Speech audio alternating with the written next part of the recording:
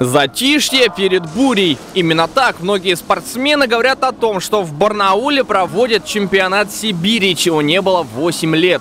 Дело не в инфраструктуре или в улучшении бассейна, всего лишь смена географии от Федерации плавания России. Поэтому в Барнауле призеры Олимпийских игр и неоднократные чемпионы Европы. Одним словом, конкуренция мощная.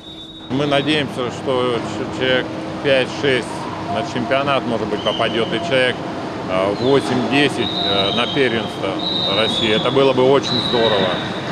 А, конкуренция высокая, поэтому сложно отбираться. Чтобы отобраться на Россию, победить в Сибири может быть недостаточно. Параллельно нашему турниру такие же проходят и в других регионах, чтобы затем составить общий рейтинг спортсменов на каждую дистанцию. Надо попасть в 50 лучших. Ну вот, допустим, 100 метров вольный стиль плывут, у нас там 100 с лишним человек. В других регионах где-то вот на 100 вольный там получается всего в России будет стартовать более 800 спортсменов.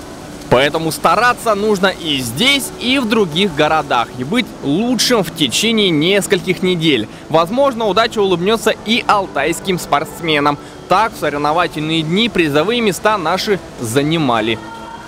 Дмитрий Дроздов, Александр Андропов. День с толком.